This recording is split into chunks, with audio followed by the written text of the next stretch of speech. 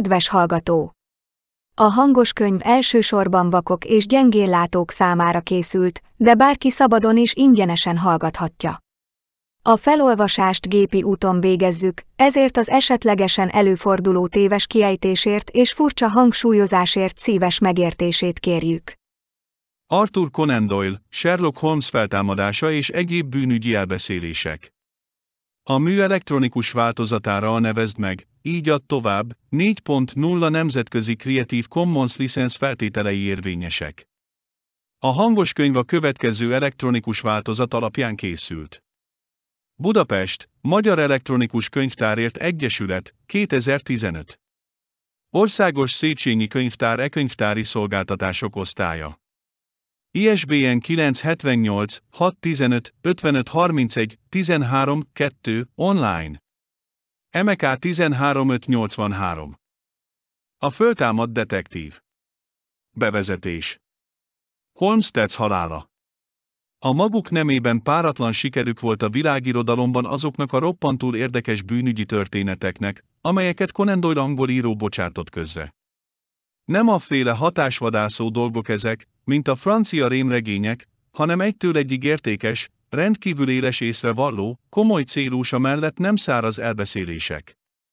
A csendőrségi könyvtár olvasói pedig speciális, fokozott érdeklődéssel fogadhatják Conan Doyle munkáit, amelyek közül többet épp úgy adnak elő nem egy külföldi detektív és csendőriskolában, tanfolyamon, mint akármelyik fontos tantárgyat.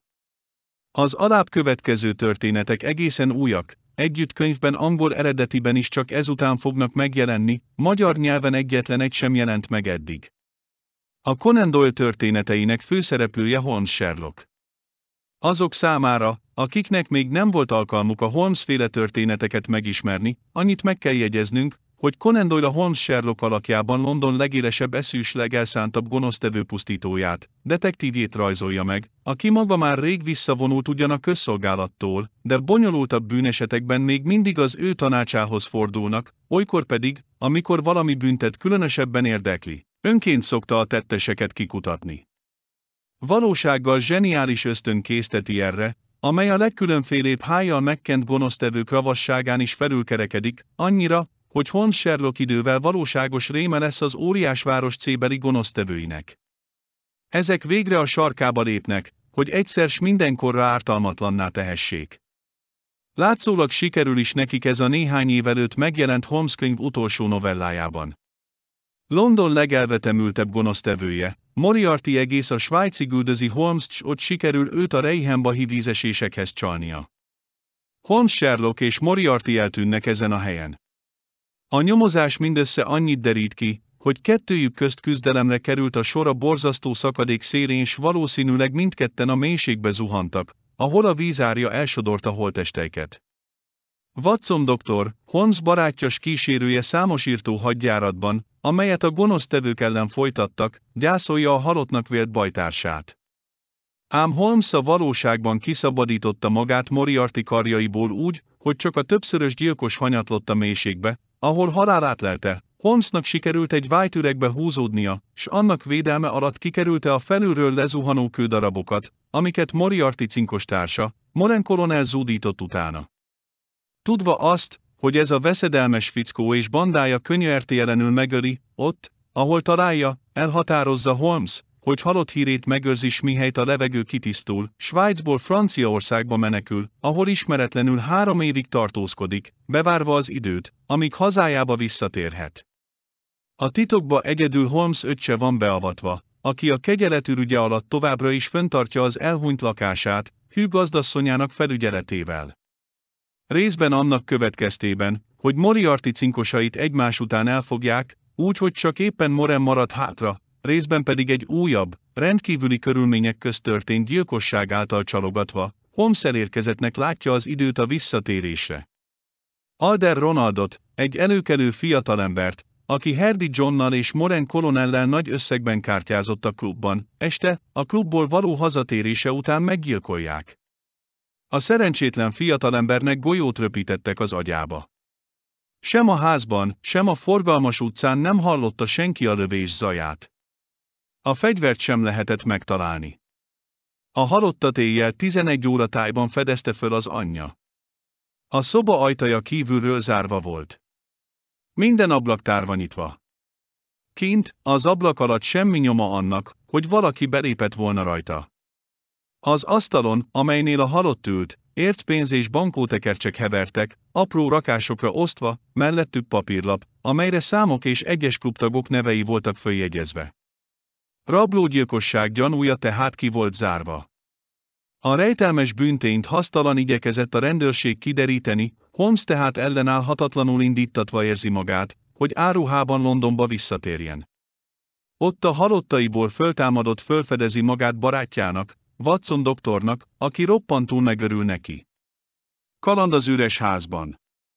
A viszontlátás első örömei is a velük járó hosszas kérdezősködéseken és magyarázatokon átesve, mint hajdan, ismét együtt ült a két jó barát, látszólag vidám szivarszó mellett. A további eseményekről így számol be Watson doktor.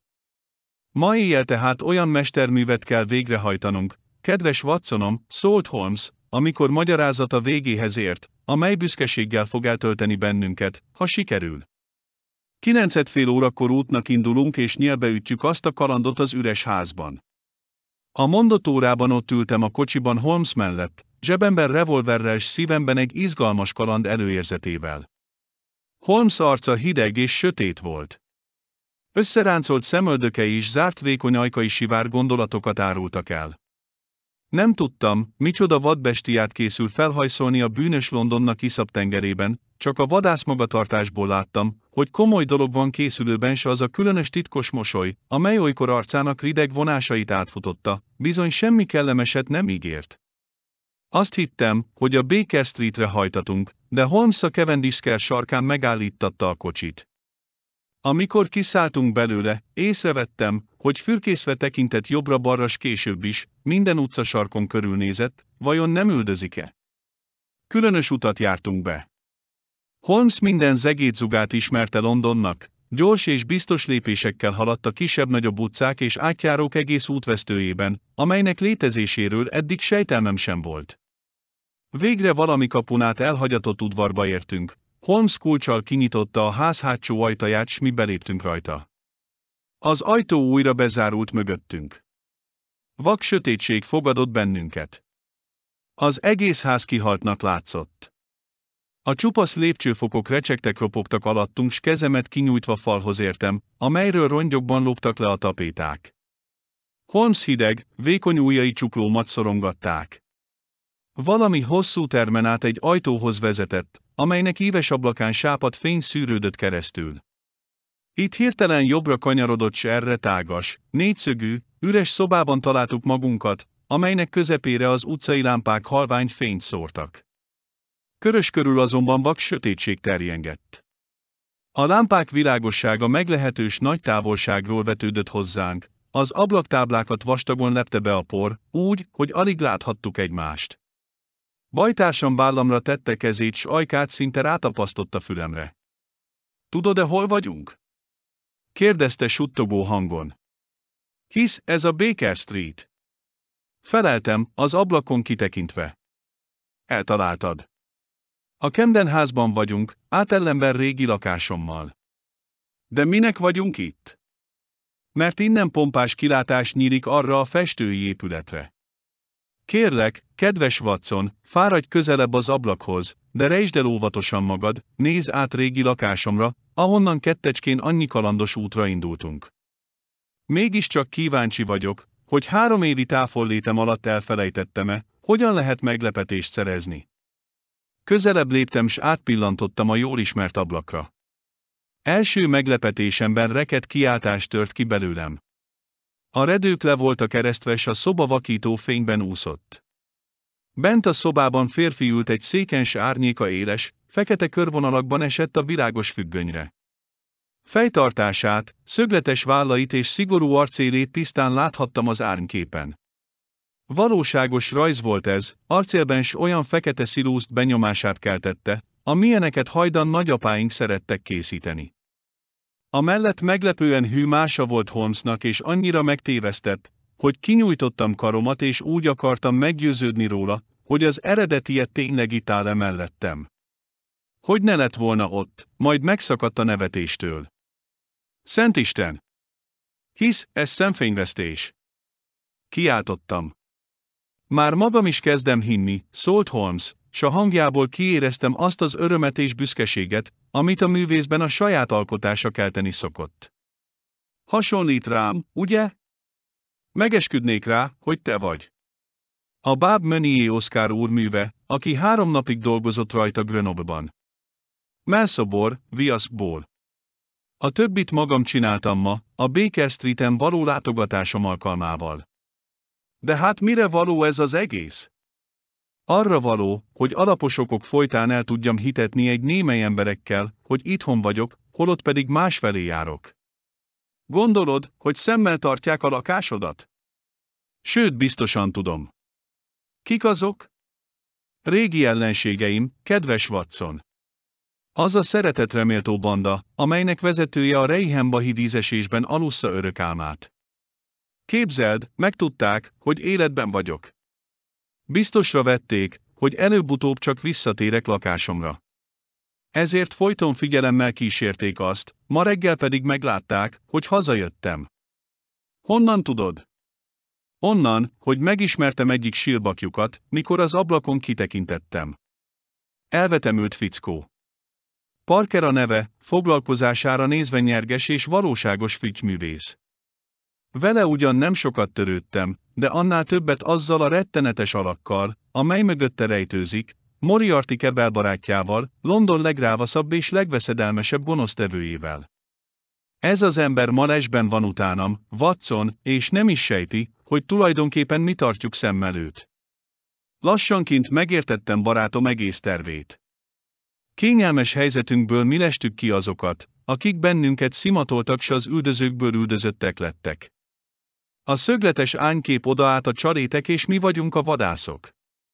Némán álltunk az ablaknál és erősen figyeltük az előttünk le, és fölsiető alakokat az utcán. Holmes meg sem moccant. Éber szemmel tartott mindent s tekintetével folyton követte a járókelőket. Sötét, zivataros éjszaka volt, a hosszú utcán fagyos szél süvített végig. Az emberek kabátjuk gallériát feltűrve siettek haza.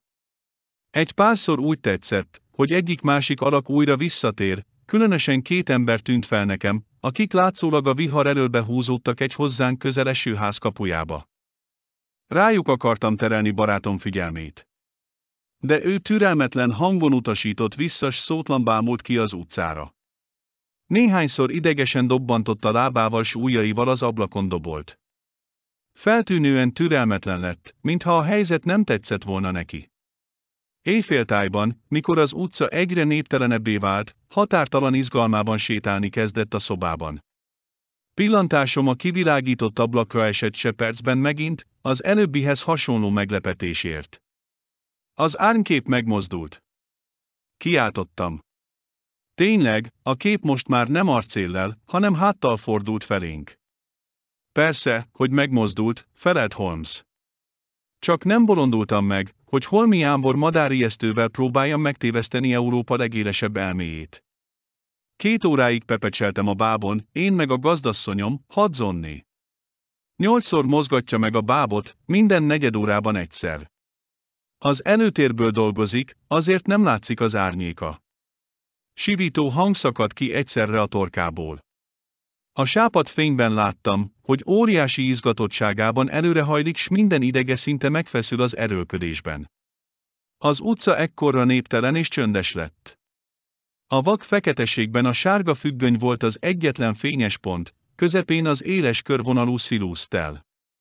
Az a sivító, sziszegő hegés, amely barátom végtelen izgatottságáról tett bizonyságot, újra érintette fülemet. A másik pillanatban már a szoba legsötétebb sarkába vonszolt síntéskép ajkamra szorította kezét. Hirtelen Nesz hallatszott, finom Nesz, amelyet barátom éles füle már előbb meghallott.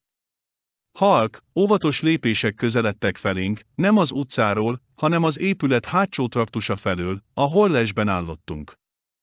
Holmesszal együtt a falhoz lapultam s kezemet revolveremre illesztettem. Erőlködve igyekeztem a sötétségen áthatolni, a nyitott ajtóban egy férfi alakot pillantottam meg. Az ember egy percig nyugodtan vesztegelt helyén, majd előre hajolva, fenyegető tartással a szobába lépett. Még három lépésnyire volt tőlünk. Már-már támadásra készültem, de akkor észrevettem, hogy sejtelme sincs a mi jelenlétünkről. Halkan siklott el mellettünk az ablakhoz, amelyet óvatosan, nesztelenül mint egy ökölnyi magasságra föltolt maga előtt. Ahogy a nyírásig hajolt, az utcai lámpás fénye egész teljességében végigömlött arcán. A férfit szinte az őrültséggel határos izgatom fogta el. Szemei fénylettek, s arca görcsösen rángatózott. Korosabb úrnak látszott, sasorral, kopasz fejjel, hatalmas, lekonyuló bajusszal. Köcsök kalapját a feje búbjára toltas nyitott felöltője alól kiragyogott fehér inge. Sovány, barna arca mély ráncokkal volt végig szántva. Kezében botot szorongatott, amely valahányszor a padlóhoz ütődött, hangot adott. A férfi nagyobb alakú tárgyat vett ki zsebéből, amelyen addig babrált, amíg valami hangos berregést hallatott, mint a becsapódó zárnyelve. Még mindig a padlón térdepelve egész erejével az emeltyűre hajolt, mire még hangosabb berregés következett, amely szintén hangos csattanással végződött. Erre felemelkedett helyéről. Most láttam csak, hogy valami furcsa agyú szélpuska van a kezében. Fölhúzta a ravaszt, valamit belerakott s ismét lecsapta. Erre térdre ereszkedett s az ablakpárkánya támasztotta a puska csövét. Hosszú bajusza két oldalt csüngött le a puska agyról és szeme villogva siklott végig a csövön. Egy pillanatig mozdulatlanul maradt így, majd átfonta ujjaival a ravaszt, az a berregő hang újra ismétlődött s következő pillanatban hosszas csörömpölés és ropogás volt a válasz, mintha egy nagy üvegtábla darabokra zúzódnék. Közvetlen utána Holmes, mint a tigris rávetette magát hátulról a vadászra és arccal előre lódította. De ez sem volt reszt, hirtelen talpra ugrott s villámgyors mozdulattal torkon ragadta Holmes-t. Én azonban revolveremmel fejbe vágtam, úgy, hogy ismét lehanyatlott a padlóra. Amíg magam minden erőmből lefogni igyekeztem, bajtársam éles füttyöt hallatott. Odakint nyomban nehéz, siető lépésektől visszhangzott az utca és két egyenruhás rendőr egy detektív kíséretében a főbejáraton át a kertbe hatolt. Ön az, Lestrade? kérdezte Holmes. Én vagyok, Holmes úr. Személyesen akartam segítségére jönni. Örülök, hogy ismét Londonban láthatom. Mindketten felemelkedtünk. Fogjunk, akit a két rendőr közrefogott, mélyen lélegzett. Mint hogy eközben az utcán egész sereg kíváncsi ember verődött össze, Holmes becsukta az ablakot s leeresztette a redőt. A rendőrök előszedték lámpásaikat, Lestrát két gyertyát gyújtott meg. Végre alaposabban szemügyre vehettem fogjunkat. Visszataszító, gonosz arc tekintett onnan rám. Filozófus fejforma, mely kéjencre vallóában végződik. Erre az arcra minden képzelhető gonoszságnak a bélyegét rásütötte a természet. Velünk nem is törődik. Szeme állandóan Holmesra volt irányítva, tekintetében gyűlölség és bámulat viaskodott egymással. Te sátán! Dörmögte egyre. Te ravasz, ravasz sátán! Ah, ezredes! Üdvözölte a foglyot Holmes, összegyűrté gallériát rendbe hozva. Már rég nem volt szerencsém, azóta, hogy a Reihenbahi vízesés fölött lebegve, figyelmének barátságos jeleivel elhalmozott. Az ezredes holtra dermedve nézett barátomra. Te agyafúrt, ravas sátán! Ez volt minden, amit kinyöghetett. Nini, még be sem mutattam egymásnak az urakat, szólt Holmes. Ez itt, uraim, Morensebestjén ezredes, ezelőtt az indiai hadsereg tisztje, a legjobb tigrisvadász, akit valaha keleti császárságunk teremtett. Azt hiszem, kolonel, csak az igazságot szolgálom, amikor kijelentem, hogy mint tigrisvadász az egész világon páratlan. Az öreg, aki vadpillantású szemeivel s borzas bajuszával maga is olyan volt, mint egy tigris, még mindig némán bámult bajtársamra. Csodálom, hogy az ilyen öreg vadászt megtéveszthette az én egyszerű hadicserem, szólt Holmes. Hiszen ismernie kellett Március.